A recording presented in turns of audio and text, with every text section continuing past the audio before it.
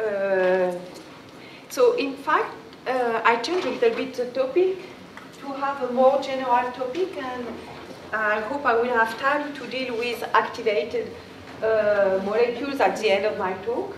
If not, it will be possibly for next year with even new, more recent results.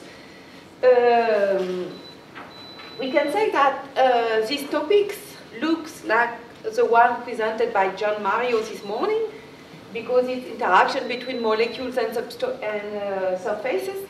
However, he was telling us that he was uh, studying a model system and I would say that these systems that we are studying are possibly even more model systems because the molecules are considerably simpler, not as complex, very small. But, uh, but why do we study them on crystalline substrates? Because uh, we are studying physisorbed molecules, only physisorbed molecules, which, uh, well, this is not totally true. Physisorbed molecules, and if I at the very end of the talk, I can, I can, if I have time, I will present a study on chemisorbed molecules, but always on crystalline substrate. Why? Because the substrate is able to uh, induce an order to the molecule on top of each. And we use a crystalline substrate in order to prepare 2D uh, crystallized organic monolayers. So why these 2D crystallized organic monolayers are interesting? This is the first question that I will ask. But first, uh, I will tell you that this kind of works is a result of a large collaboration with several institutes, in particular the Institute of Physics. Also, I would like to say that at least the second part of the talk co concerns the main work of two young researchers. First, Sergei Snegir, uh, who is from Ukraine and who did a postdoc, a one-year postdoc in my group, and Piotr Szczeszkowski, who is from Poland and uh, who is still in a PhD in my group in co-direction with people from uh, the Netherlands, his co-director being Natalie Katsonis. So why 2D crystalline layers can be interesting for physics of organic molecules? There are two reasons. First, we can indeed think that 2D organic uh, layers can serve as template for a future organization of the bulk on top. In such a case, we use the organization of this first molecule to organize and induce some order to the bulk on top. So this is the first purpose, and I will uh, indeed present how, when we use liquid crystal molecules, self-assembled on uh, the substrate, we can indeed impose the orientation of the bulk liquid crystal on top. Uh, but clearly, the 2D uh, crystal of organic molecules can be also interesting for themselves. There are now always more uh, systems which appear because these systems are very well organized and very thin. So for new electronics, for example, or new optical properties, that becomes to be very interesting. And this will be more the subject of my second uh, part of the talk. However, you will see quite rapidly that while we are also interested in uh, organized system, it is because we can study them with advanced techniques. In our case, it is more scanning for microscopies and X-ray diffraction. And using these advanced techniques, then we can finally come, come back to the interactions which are responsible for the order of these systems. And then studying deeply organized system, we can understand uh, in a new fashion, in a new way, how the uh, intermolecular interaction and molecule-substrate interaction balance each other to indeed produce the structures that are observed. And then, if we start with the first part of the talk, uh, I will first present materials, then I will focus on the 2D uh, organized structure, and in the second part, I will focus on the bulk, liquid crystal bulk on top. Materials. In fact, here in our group we are interested, because there are plenty of people, in fact, in uh, research who are studying uh, self-organization of molecules on top of substrate. But we, we are interested in what happens when we are studying it in ambient conditions. It means in air, at ambient temperature, and so on. In such a case, we are clearly restricted to a small amount of substrate. One of the uh, studied substrate is gold. Gold, because as you know, is quite stable. And then we, start, we, we are using gold 111, which is interesting because it is metallic. So for a uh, uh, number of applications, it is very interesting to use a metallic substrate. And it is well known that if the gold that we use is clean enough, then it will produce what we call a reconstruction, the famous gold 111 reconstruction, which allows to, uh, to determine the crystallographic direction of the substrate, even if we do not have any steps on the surface. Very famous is graphite. Graphite is used a lot because it's easy, easy to prepare. We just have to clean it. You may know that it is formed of graphene sheets on top of each other. Then we just have to cleave and then we have a very clean graphene layer at the surface. Then by STM we recognize here the honeycomb structure with only one atom over two which is visible. And why is it interesting for the purpose of organizing organic molecules on top? It is because it is known already since a long time that alkyl chains on top of graphite can produce a, a commensurate structure where the van der Waals interactions are particularly strong. So for these reasons, when you deposit uh, an organic molecule with alkyl chains, then usually this is an alkyl chain which will uh, impose orientation and position of the molecule on top. And so the presence of alkyl chains are the driving motor for the self-assembly of organic molecules on top of graphite. However, graphite has a strong drawback to our opinion. It is that it is very difficult to have a single crystal. What does it mean? It means that if we have a piece of graphite, usually it will be, and uh, quite always, it will be composed of small crystals of graphite, of graphite of some microns of size, disordered with respect to each other, which means that indeed we will have a well-ordered structure on one single crystal, but it will be disoriented with respect to the other one, and in total we will have like a powder, what is called 2D powders of the organic structure. So this is why we have decided to study another substrate, which is what we call MOS2 or molybdenite, which is similar to graphite. Why? Because it is composed of sheets which are connected by weak van der Waals interactions, so it can be easily cleaved.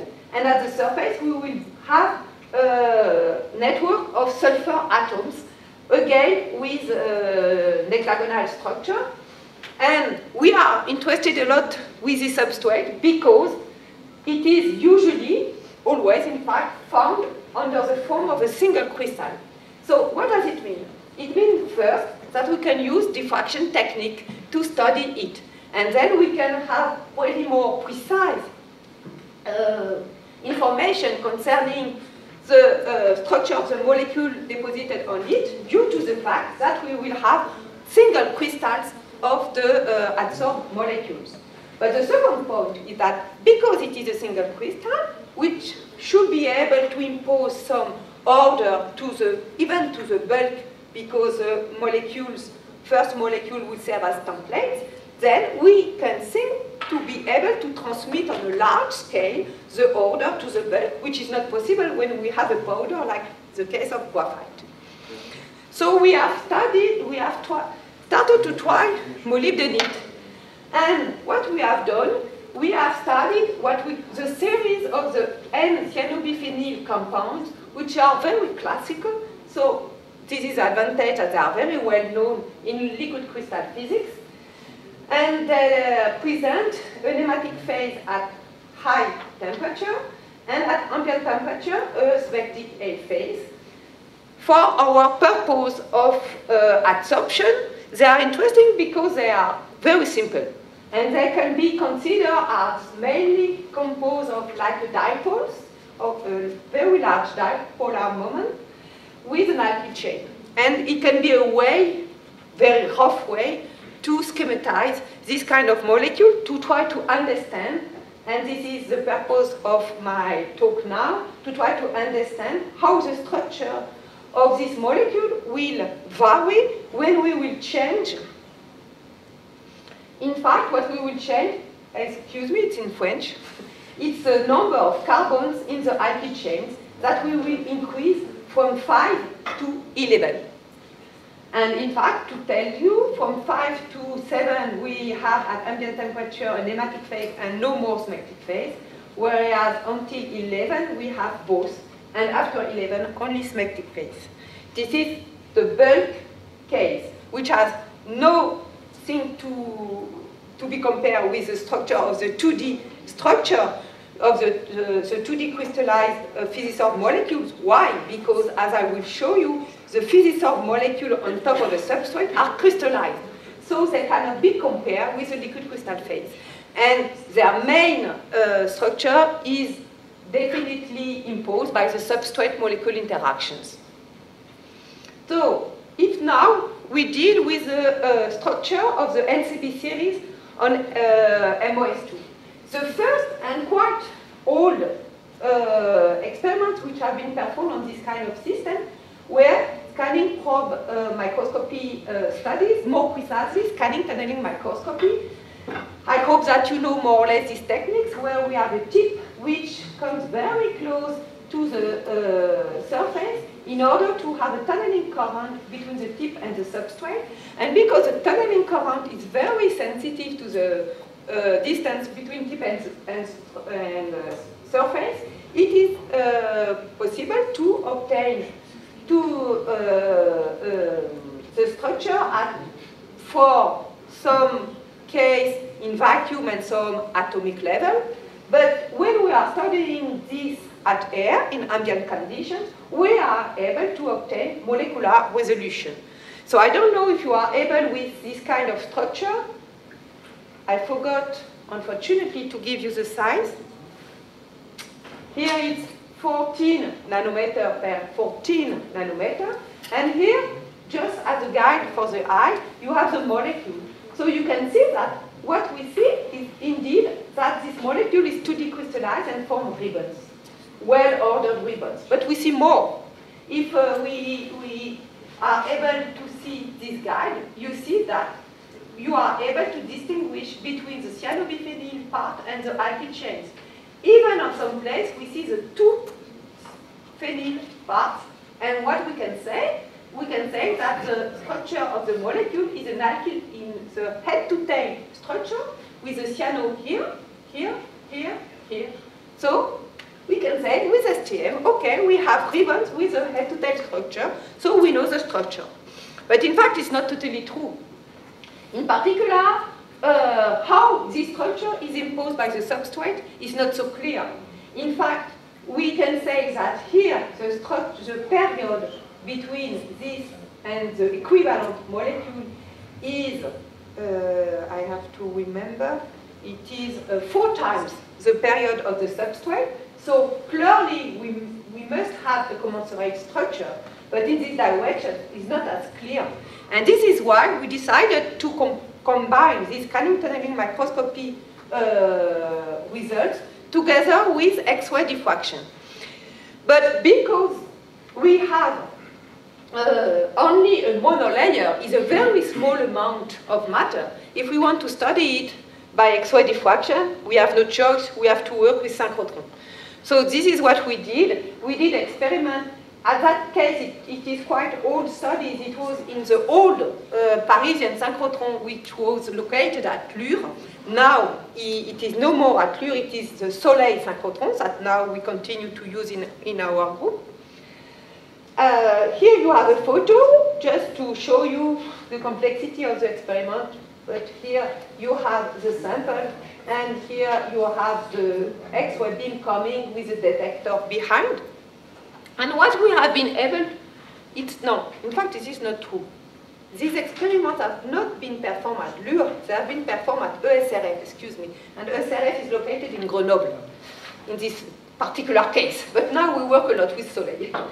And just to show you, this is a reciprocal network of the LCB on top of MOS2. We, and the red points are all the points where we have been able to measure an intensity. So what, and what are these circles here, transparent circles? They correspond to the structure of the MOS2. So what can you see?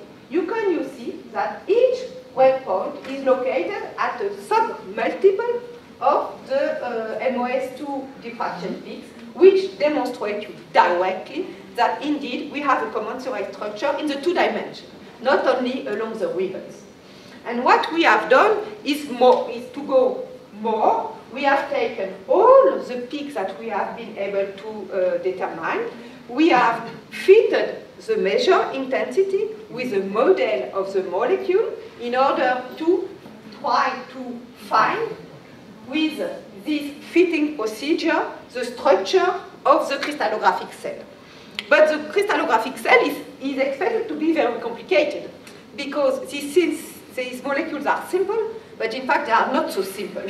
If, from the point of view of adsorption, they are very complex, especially because the crystallographic cell, as you see, comprises eight molecules, and the molecules themselves are not so simple. So for the fitting procedure, it was a very long work, and definitely, if you want to do a good fitting procedure with such a large amount of parameters that you have to vary, you definitely need, again, to combine with another technique, like Jean-Mario did this morning. He was combining a technique with another one when fitting was necessary, and this is very general, in fact, in physics. If you have a, a technique that, you, uh, that needs fitting in order to extract the data, it's always better to have another technique which allows to uh, check always if the parameters that you are varying are correct and are plausible. And this is why we always use our STM network in order to see if the direction of the fit was a good one. And if you take this model, which was quite the nat natural model with commensurate ribbons head to tail, as I told you, uh, this was the first one that we did. We calculated the expected intensity by X-ray uh, uh, expected for X-ray diffraction, and the key two that we found was extremely bad, which means that this model is far to being the real one. And indeed, if we compare it to STM, which is difficult to compare because STM is a local measurement, whereas X-ray is an average measurement. Anyway, you see that one ribbon over two is quite correctly uh, described, whereas, whereas one, the other ribbons is very badly described, in particular the position of the cyanobiphenyl in these ribbons, which demonstrates immediately that these ribbons indeed is commensurate with the expected commensurability with respect to the substrate, but not this one. And it was a, a long work in order to be able to fit and finally, we have been able to obtain a quite reasonable K2, which gave, indeed, one ribbon over two very different, and this one forming pairs. So if you compare with STM, the comparison is not excellent at all. This is particularly due to the fact that alkyl chains are not well described. Why? Because X-ray diffraction is more sensible to the not light atom, but more or less heavy atom. And this is why they describe better the cyanobiphenyl group than the alkyl chains. Anyway, we became convinced that in one ribbon over two, there were like pairs of molecules, which was very surprising. So, what we did is that we tried to understand the origin of such ribbons. So, we did like a rough, very rough model, a mean-field model, where we have calculated the interaction between the nearest neighbor. So interactions, obviously, are of dipolar type, van der Waals type, in addition with a steric interaction, which, because these two are attractive and steric interaction, which uh, avoid the molecules to collapse. And we have to add the unknown interaction with the substrate, which are commensurate. So because by X-ray diffraction, which we have been able to determine the distance between the molecule in the two types of ribbons, we are able to calculate, also because this molecule is very simple, very classical, so the dipolar moment is known, this value is known, so we can calculate everything concerning the intermolecular interactions, and then we can use this, this fact to uh, deduce the value of the molecule-substrate interaction. So just to remind you, what is this molecule-substrate interaction? Definitely, when you put a molecule in any position, in any uh, orientation on top of the substrate, you have an interaction. You have the van der Waals dipolar interaction. But when you have a crystallized substrate well ordered, then clearly there will be a change, which is here depicted by this B value, between an orientation where you have no specific orientation of the molecule and the good orientation with respect to the crystallographic orientation of the substrate. And this is this B value which will give you the added interaction due to the co correct orientation of the molecule. And the first question to answer is what type of ribbon is the is a stable one, the one with pairs of molecules or the one with commensurate structure.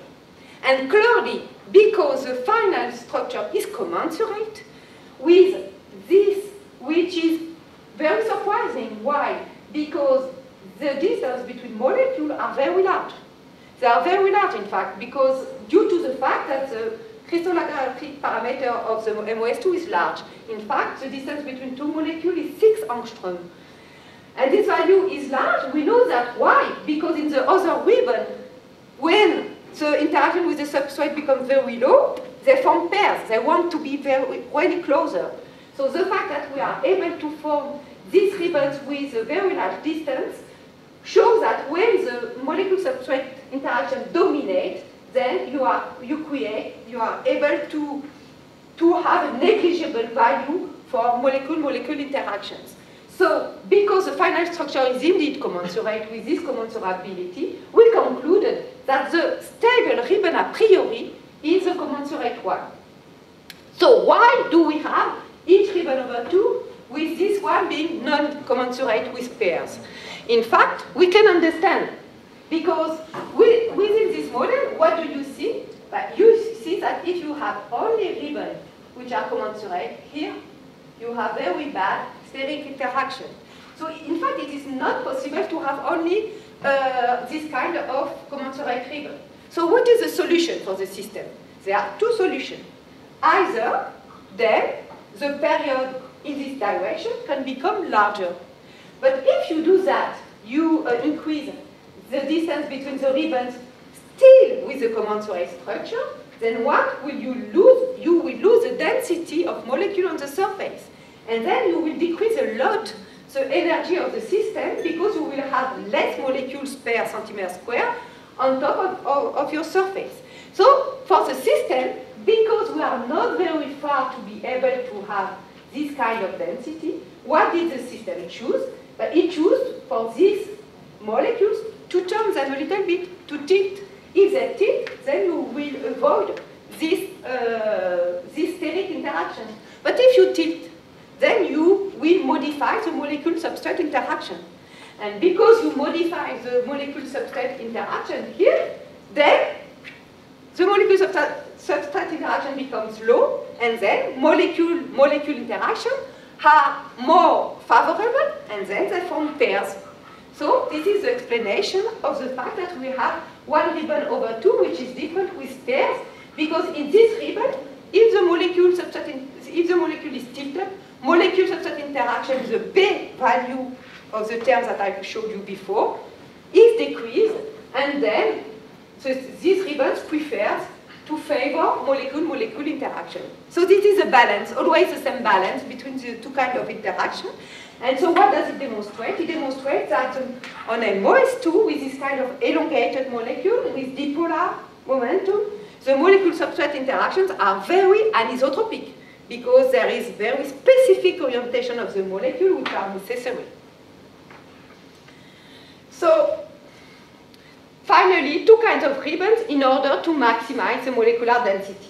And what is also interesting is because we can say that this ribbon is more stable, we are able, to, by the calculation, to obtain a limit value for the B term. And what do we obtain? We obtain that the B value must be very, very high. You see, around 100 kT. So definitely it's a rough value because our model, as you have seen, is very rough. We did not precisely calculate the molecule-molecule interaction. But it's an order of magnitude which shows that on MOS2 with this kind of molecule with a high moment, there is like a strong interaction which cannot be van der Waals type. We have done the calculation, and which is still not very clear, which induce, indeed induce this particular system. And now, what happens if we increase the alkyl chains? If we increase the alkyl chains, here it's 8CB, here it's 11CB. You, I don't know if you can see, but 11CB, you have the same alkyl tail structure locally. But what you have in addition, regularly you have kinks. So what does it show? It shows that system, uh, this system have chosen the other possibility. Again, we have this very stable commensurate structure everywhere, but the distance between each ribbons has been increased in order to allow uh, no steric interaction. And because the, the commensurability finally in this direction is not is quite large, then the distance between each ribbon is very large and too large for the system which would prefer to have uh, interaction between each layer. And then what it does, it creates kinks in order to, in average, have closer uh, layers from each other. So these kinks are here to produce an incommensurate structure in this direction and to have closer layers in average. So what do we show?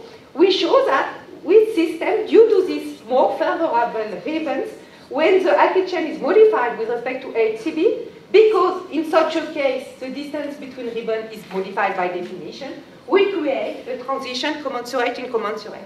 And what is interesting is that when you do that, what do you do with these things, You create a chiral structure. Why chiral structure? Because these things are only in one direction, not in the other direction. So there is one specific orientation which is chosen due to this commensurate incommensurate structure. And so we show how using a substrate which is not chiral at all, using a molecule which is not chiral at all, it is possible to uh, uh produce chiral 2D structure due to the fact that this is a balance between the interaction which force the structure to be tilted in one specific direction with the angle being totally defined by the interactions. And if we now continue to increase the alkyl chains, what happens? Here, you have, in particular, the case of 12 CB, but also 10 CB because there are some odd even effect on, on top of LMOS2. And I don't know if you are able, again, to understand this. You have to be used, but what do you see here? You see in white, you see very well the dipole structure. And the molecule here is, has a totally different structure, which is called a double structure, where you have molecules facing from each other, the dipole facing from each other. So it changed completely structure. Why? Simply because in this structure, the alkyl chain distance between each other is very precise, and it is a distance which favors van der Waal interaction between alkyl chains. So when alkyl chain distance is increased, but then now you have to favor the intermolecular interaction between alkyl chains, and the alkyl chains, a little bit like on graphite, now dominate the structure. And the proof that it is really the alkyl chain which imposes uh, double structure of uh, 10 and 12 CB is that when you change the substrate, you, we did it, it's a work that it under uh, now it's, uh, it's done right now. We change, we use MOS2, graphite, gold. For 10CB, we have always the same structure. So the same structure and the same distance between alkyl chains. And what is interesting to see here is that here, the substrate, what is the role of the, of the substrate is mainly to orient this structure because there are some specific orientation which are more favorable, of course. And then we again have an even more chiral structure. As an example, with a more precise structure here, you see the structure like that. And now, if you take a look to the mirror images, clearly the mirror image cannot be uh, reproduced on top of this one. We have a highly chiral structure. So what we can say as a conclusion is that when you increase the alkyl chain, you always create more chiral structure. And uh, due to the balance, and clearly the interaction with the substrate is more active, more important for small alkyl chains, dealing with a strangely high molecule substrate interaction which still need to be understood. So this was concerning how we can understand interaction at the origin of 2D structure by like a deep uh, study of them. And now it's interesting because we know very well these organized uh, monolayers to understand how they impose their order to the bulk. And why is it interesting? It is because it's not so, so usual that in liquid crystal uh, physics we try to connect the macroscopic uh, structure of the bulk to the microscopic structure of the structure of the substrate. And here, the substrate, what it is, the substrate for the liquid crystal bulk, is just this commensurate structure that we have just uh, evidenced. And uh, we know very well the orientation of each molecule. And then we can try to understand if this orientation of each molecule has an influence or no influence on the macroscopic uh, structure of the bulk. And so if you take this 8CB MOS2 monolayer, you put on it the bulk, 8CB bulk, what do you see by optical microscopy? So now, from the macroscopic point of view, you see that. You see that in nematic phase, exactly the same in smectic phase. What it is? It is domains, and black domains correspond to the polarizer, we are in cross polarizers oriented parallel to the director, and white domain to the uh, polarizer oriented at 45 degrees roughly with the director. And then when you turn the sample, the black domains become white, and so on. What does it show? It shows that in nematic and smectic phase, the liquid crystal is oriented similarly. It also shows that the orientation is planar. Is planar, and forms domains where the orientation is totally different with respect to the other ones. So what we wanted to understand is what are the respective orientation of each domain of the smectic phase on top of MOS2. For that, we have performed, again, X-ray diffraction. And by X-ray diffraction, what do we observe? We Uh, are in grazing incidence in order to be able to measure the smectic layer which are perpendicular to the substrate because the anchoring is planar. And so when you do that, this is the result. What, what is this result? Is the intensity, the scattered intensity, as a function of the orientation of the, of the sample. And then when you turn by 80, 100 and, and 180 degrees, you have several peaks which corresponds to the all the possible uh, domains that you will have on top of your 2D uh, organized layer the 8CB on MOS2. And so what do you find? You find that you have 60 degrees disorientation, and you are okay with that because the 8CB monolayer on top of MOS2 form domains. Form domains disoriented by 60 degrees, obviously due to the uh, hexagonal symmetry of the substrate, which impose three equivalent orientation for the 8CB on top of MOS2. However, what you also find is a strange angle that took some time for us to understand of 35 degrees that you can repeatedly find found. And what does it show? It shows that the smectic layers, in fact, because we can also uh, measure the orientation of the MOS2 crystallographic direction. So we are able finally to demonstrate that smectic layers are oriented at plus or minus 70.5 degrees with respect to the ribbons of 8CB on top of MOS2. So this was very strange. This was very strange, except if you realize that the structure of the monolayer is oriented at two main angles, which are very close indeed to the 17.5 degrees of the director of the smectic layers. What does it show? It shows that, in fact, we have two kinds of dipolar orientation in the monolayer, and this is these two kinds of dipolar orientation which can impose the director orientation in nematic phase and in smectic phase. So uh, we are not totally surprised because we know that the dipole of the substrate always impose the orientation of the director. But what is surprising is the fact that with two different dipoles, two easy axes, we don't have an average of the two dipoles, and this average was expected by the usual model that people use, with the usual Rapini-Papoular models, which tells you that the energy is proportional to the sinus square to the deviation with respect to the easy axis. If you have two easy axes, you expect an average in the middle of the two easy axes. This is not what we find. We find that we are or along one easy axis or along the other easy axis. So in order to understand that, we have, so what is interesting because it is a demonstration of the bistability of anchoring. So we have done the same work for 11 CB. For 11 CB, again, a strange angle, close to 20 degrees. And what we notice by uh, scanning thermic microscopy is that indeed the disorientation is no more 35 degrees now for 11 CB, it's 20 degrees. So clearly these two uh, dipoles again impose an anchoring bistability.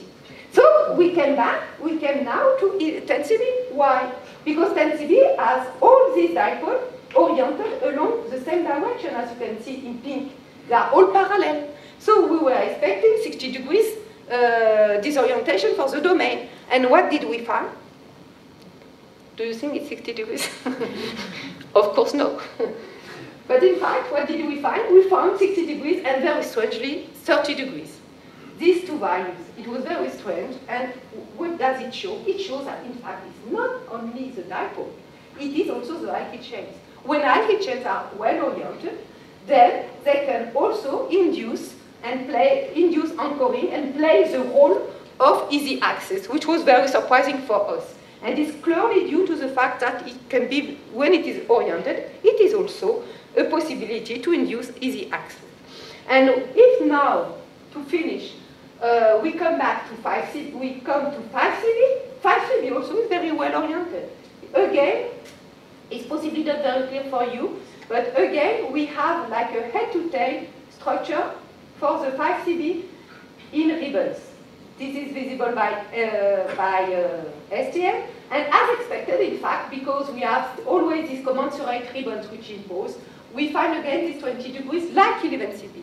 But contrary to 11CB, we have extremely large domains which are with a single orientation, visible by optical microscopy, which is related to the fact that we have no bistability for 5CB contrary to what was expected. So to explain that, ah, just a point. Here you have on graphite, just with the same, so the same size of the pictures as previously, just to show all the small domains and why graphite is not so useful if we want to uh, transmit the order to the bulk.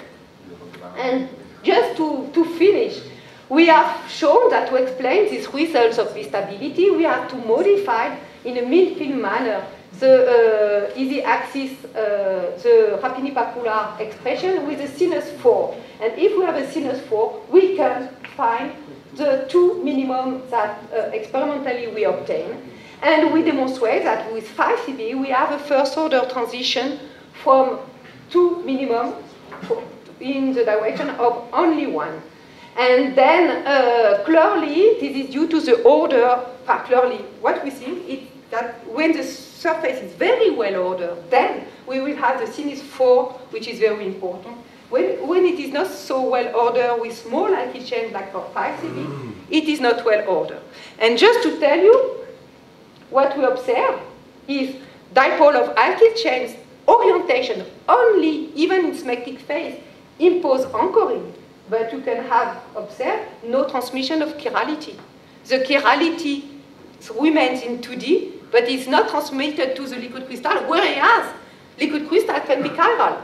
So in fact, what now we are doing with, in collaboration with people from USA, uh, experiment with other liquid crystal compounds which are able to transmit chirality way better than the NCB series, and apparently we are able to create structure where the anchoring has been able to transmit chirality at the macroscopic level, but it's not totally sure. It's quite uh, on, underway uh, studies.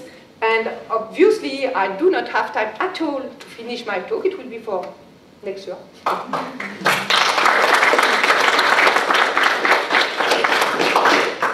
So thank you for your enthusiastic uh, talk. And so now we have uh, time for questions. Uh,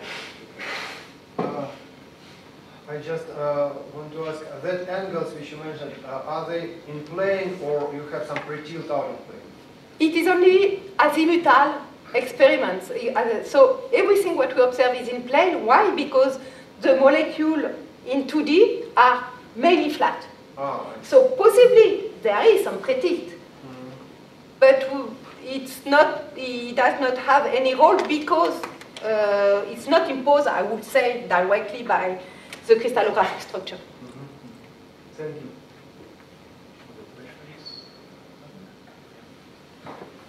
First, I want to thank for the interesting lecture, and I'm interested in did you try to apply some electric or magnetic field to the your surface? Maybe it can change some uh, anisotropy on the surface.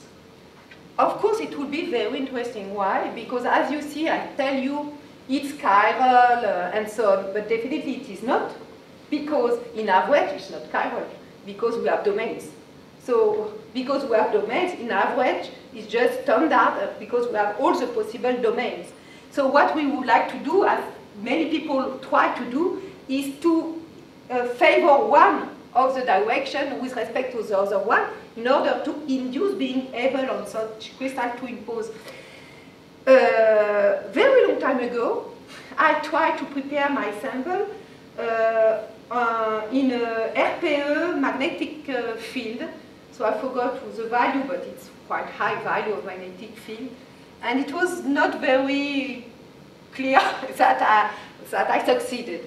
But I realize something now. I realize that probably this domain that I showed you, for example, for 8CB, are quite not so small because they are between 10 and 100 microns large, but small due to this bistability. Why? Because 5CB presents domains of well-defined in orientation, totally well-defined, of uh, close to one millimeter. So we should have to understand how these, these uh, processes of 2Z axis occurs kinetically, because it's a question of kinetics, in order to be able to do that. But it, we never studied that. It would be very interesting. Okay. Other questions? So maybe we could close the, the lecture. Thanks again, Emmanuelle.